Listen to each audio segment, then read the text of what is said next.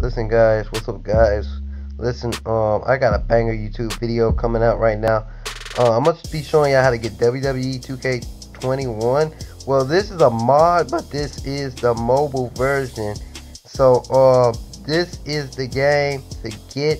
It has the Thunderdome and everything because I know WWE recently canceled WWE 2K21 because uh, that it was just going to be a copy of WWE 2K20 because they didn't have they didn't make enough money off the game.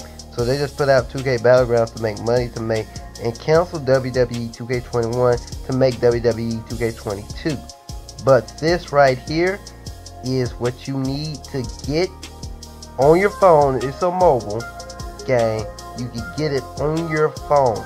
I'm not going to be showing you how to get it. I'm just going to show you the gameplay. And then if y'all want it, type up in the comments and I'll be letting you know the YouTuber that I got it from. I did get it from a YouTuber, but it took me like three hours to get this game. And y'all don't want to go through all that because it was only one YouTuber that had it, and then there's another one that has it. The other one that has it doesn't contain the Fiend on there, but it's the game. So just be happy that you got the game. So there's bangers coming to this YouTube channel today, so be on the lookout for those videos. And I'm out, guys. Peace. Please like and subscribe on this video, and I'm out.